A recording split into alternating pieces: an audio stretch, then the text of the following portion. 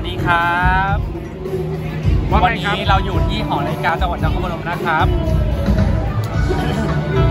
ซึ่งหอนาฬิกาที่เนี้ยเป็นหอนาฬิกาไทยเวียดนามนะครับ ซึ่งสร้างเมื่อสงครามโลกครั้งที่สองนะครับแล้ววันนี้เราอยู่ที่ร้านเดี๋ยวเต็มโต๊ะนะครับร้านนี้บรรยากาศดีมากอยู่ติดหอนาฬิกานะครับ แล้วก็อยู่ติดถนนคนเดินนะครับ นะฮะซึ่งณเวลา เวลาเท่าไหร่ครับบอยซึ่งซึ่งโดยปกติเนี่ยถนนคนเดินจะมีทุกวันศุกร์เสาร์อาทิตย์นะครับ ในทุกวันศุกร์เสาร์อาทิตย์เนี่ยจะมีถนนคนเดินนะครับ มีการขายของที่ระลึกขายของอาหารการกินแล้วก็ ขายอาหารต่างๆนะครับ ซึ่งนักท่องเที่ยวจะค่อนข้างเยอะนิดนึงนะครับ ซึ่งตอนนี้เราก็จะมีมาตรการมาตรการเรื่องของโควิดเนาะจะมีการเรื่องของการตรวจตรวจตรวจวัดอุณหภูมินะแล้วก็เจลเจลแอลกอฮอล์นะครับ ให้กับลูกค้าทุกท่านด้วยนะครับ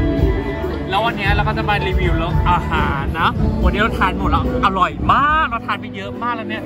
เออวันนี้ก็จะเราทานเราสั่งมาหลายอย่างเราตอนนี้เหลือสองอย่างแล้วเราจะเหลืออันนี้ตำตำตำมาม่าน่องลายนะครับ อันนี้ใส่ปลาร้ารสจัดอร่อยมากแซ่บมากนะครับ อันนี้เนื้อเนื้อลวกจิ้มเนาะเป็นรวมก็คือมีเนื้อมีลูกชิ้นแล้วก็มีเอ่อพะโล้นะครับ บวกน้ำจิ้มที่บวกผสมเวียดนามนี่มันมีซอสนะครับ อร่อยมากต้องรอมาร้านนี้นะครับเอ่อส่วนเราเนี่ยร้านเนี้ยเราก็จะนั่งดื่มเบียร์ชิลๆเนาะชมบรรยากาศของบรรยากาศของริมริมริมริมริมถนนคนเดินเนาะดึกดึกๆมาปุ๊บเนี่ยแนะนำเลยนะครับ คือร้านหอนาฬิกานะครับร้านนี้จะเป็นแหล่งของวัยรุ่น การชิลการนั่งดื่มต่างๆควรแนะนำคนมานะครับ เราสามารถนั่งทานที่นี่เสร็จปุ๊บเนี่ย เราไปต่อฝั่งตรงข้ามได้เลยโดยไม่ต้อง